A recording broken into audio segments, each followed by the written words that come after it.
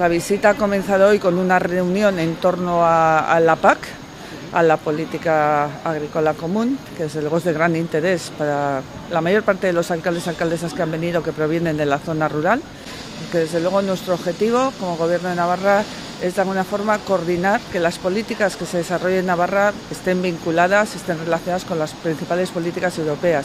Esas políticas de transición verde, de transición ecológica, de economía circular, de digitalización, de ese nuevo pacto verde que, Europa está fomentando, de esa cohesión social y justicia, en esa revisión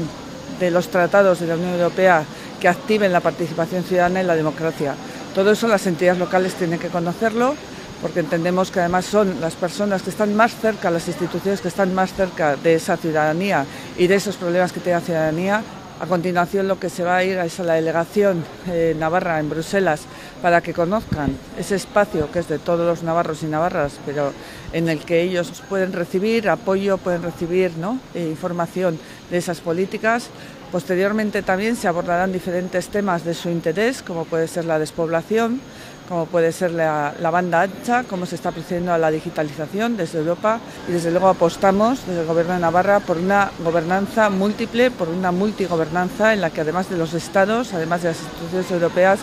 las regiones, las ciudades, los pueblos tengan también su papel.